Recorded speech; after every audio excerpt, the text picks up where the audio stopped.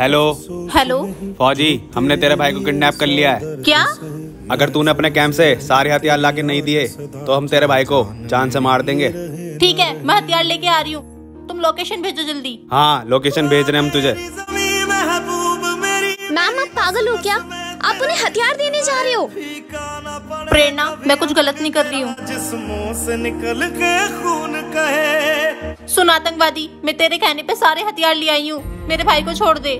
जब तक तुम्हारे घर वालों को नुकसान न पहुँचाओ ना जब तक तुम्हारे समझ नहीं आती बैग दे और जा ले जा इसे।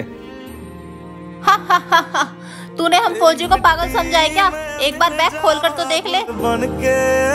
अलविदा। गाइस अगर वीडियो अच्छी लगे तो कमेंट में जय हिंद ज़रूर लिखना।